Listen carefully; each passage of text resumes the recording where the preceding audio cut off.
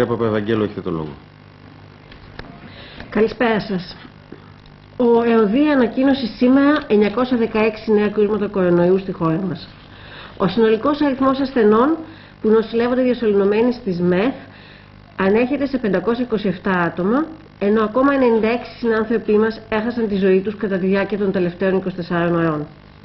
Σύμφωνα με την εβδομαδιαία ενημέρωση της Επιτροπής μας από την υπεύθυνη επιδημιολογικής επιτήρησης του ΕΟΔΗ, κυρία Κοντοπίδου, αλλά και τον καθηγητή κύριο Σωτήρη Τσιόδρα, τα κύρια χαρακτηριστικά της προηγούμενης εβδομάδας ήταν η περαιτέρω μείωση του αριθμού των νέων κρουσμάτων αλλά και των νέων εισαγωγών στα νοσοκομεία. Παράλληλα όμως βλέπουμε τόσο στην περιοχή της Δυτικής Αττικής όσο και στην περιοχή της Κοζάνης αυξημένο αριθμό κρουσμάτων που αποτελούν κίνδυνο για νέα αύξηση όχι μόνο τοπικά αλλά και γενικά στη χώρα μας. Είναι εξαιρετικά σημαντικό και ελπιδοφόρο το γεγονός ότι είναι η πρώτη εβδομάδα που ο αριθμός των συνανθρώπων μας που βγήκε από τις ΜΕΘ ήταν μεγαλύτερος από αυτούς που διασωληνώθηκαν. Ξεκάθαρα επιτέλους, αυτή την εβδομάδα μειώθηκε και ο αριθμός των ανθρώπων που έχασαν τη μάχη με τον κορονοϊό σε σχέση με τις προηγούμενες όλες εβδομάδες. Η μείωση των διασωληνωμένων ασθενών και των θανάτων άρχισε πολύ να έρθει. Ένας από τους βασικούς λόγους που δεν επιβεβαιώθηκαν οι προβλέψεις μας είναι η εξαιρετικά υψηλή διασπορά της λίμωξης στην κοινότητα. Και ναι, είμαστε χαρούμενοι που πετύχαμε τη μείωση του δεύτερου πανδημικού κύματος, είμαστε χαρούμενοι που μειώθηκε ο λεγόμενος δείκτης RT, ο λεγόμενος δείκτης αναπαραγωγής. Αλλά πρέπει να γίνει σαφές ότι με βάση τον αριθμό των ενεργών κρουσμάτων ο κίνδυνος παραμένει σε πολύ ψηλά επίπεδα σε πολλές περιοχές της χώρας μας. Είναι πολύ εύκολο με μια μικρή χαλάρωση τις επόμενες δύο εβδομάδες των γιορτών να δούμε μια εκθετική αύξηση των κρουσμάτων αλλά και πάλι πίεση ασφυκτική στο ΕΣΥ. Για να σας δώσω ένα απλό παράδειγμα, να γίνει πιο κατανοητό αυτό, ας πούμε ότι έχουμε μια περιοχή με σημαντικό αριθμό ενεργών κρουσμάτων λόγω του δευτέρου πανδημικού κύματος, όπου όμως σήμερα, παραμονές των γιορτών, ο αριθμός των νέων κρουσμάτων είναι σημαντικά μειωμένος. Αν κάποιος κάτοικος χαλαρώσει, παραδείγματος χάρη δεν φοράει σωστά τη μάσκα του ή συγχρονιστεί πολλές ώρες μέσα σε ένα κλειστό χώρο, έχει μεγάλη πιθανότητα να συναντήσει έναν ασυμπτωματικό φορέα και έτσι να ξεκινήσει και πάλι η νέα αλυσίδα μετάδοσης, περαιτέρω διασπορά στην κοινότητα και βέβαια τότε στην περιοχή αυτή η επιδημιολογική κατάσταση τον Ιανουάριο θα είναι δραματική.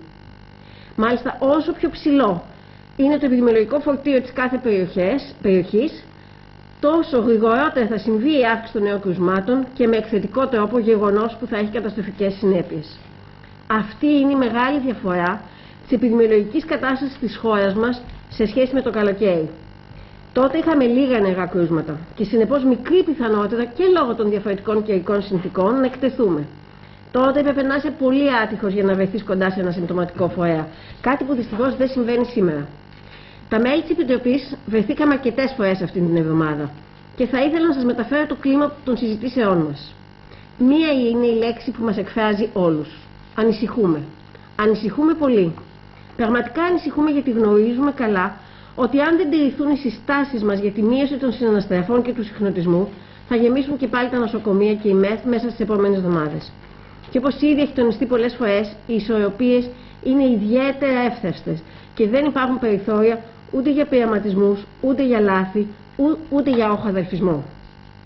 Ανησυχούμε γιατί αν και η πλειοψηφία της κοινωνίας έχει κατανοήσει ότι φέτος θα ζήσουμε διαφορετικά Χριστούγεννα, έχουν πιστεί για την ανάγκη σχολαστικής τήρησης των οδηγιών που μοναδικό στόχο έχουν την προστασία μας και τη διατήρηση της υγείας μας, υπάρχει δυστυχώς μια μικρή μερίδα του πληθυσμού που είτε αμφισβητεί είτε έχει κουραστεί από την πολύμηνη στέρηση δραστηριοτήτων. Θέλουμε μετά τις γιορτές να πάμε μπροστά, όχι να γυρίσουμε πίσω στο Νοέμβριο. Θέλουμε μετά τις γιορτές, οπότε θα έχει ξεκινήσει και ο εμβολιασμός, να αρχίσουμε να κοιτάμε το μέλλον με αισιοδοξία, να αρχίσουμε να επιστρέφουμε στην κανονικότητά μας, να γυρίσουν τα παιδιά στα σχολεία και, να, και να, σιγά σιγά να αρχίσουν και οι άλλες δραστηριότητες της κοινωνίας μας.